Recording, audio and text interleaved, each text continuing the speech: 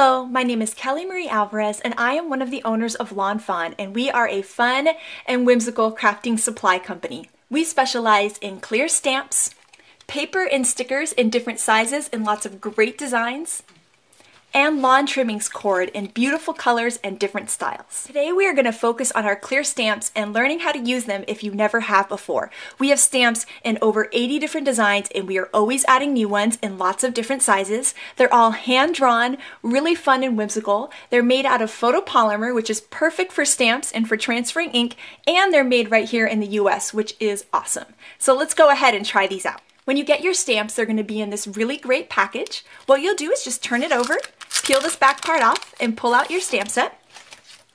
And you can see right here, we even put the name at the bottom so you always remember which one you bought. And then all you have to do is turn it over and peel this back part off. And it all stays together, which is perfect for keeping everything organized. When you use clear stamps, you'll need some clear blocks to mount the stamps on. What's great is these are reusable, so once you have a couple and a couple different sizes, you're good to go for any stamp set that you're gonna buy. When you want a stamp, all you need to do is peel your stamp right off the backer and then stick it to your clear block, just like that. These stamps have a natural cling, so you can see you can stick them on and off over and over again, and you don't have to use any kind of special adhesive or anything like that. I have some black ink and some white cardstock, so let's get stamping. All you need to do is bring your stamp to the ink pad and lightly tap it on the ink pad to fully cover the stamp with ink. And then bring your stamp to your paper and lightly press with an even pressure all around. And lift up your stamp for a perfect and adorable image. To clean my stamps, I like to use a baby wipe and just wipe the ink off that way. You could also take a wet paper towel or wet rag and wipe them that way too.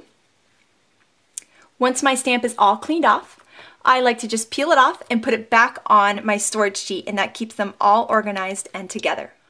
One of the great things about clear stamps is that they're clear. So right here I have my really cute and fun Hello Foxy sentiment.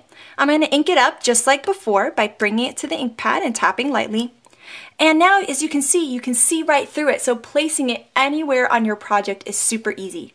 I'm going to place it right up here, and you'll see it looks perfect, and now you're ready to get crafty. Thank you so much for watching our introduction to how to use clear stamps. If you have any questions at all, please let us know. And please visit our website at lawnfawn.com to see lots of cute stamp sets and great inspiration and videos on our blog. Have an amazing day. Bye.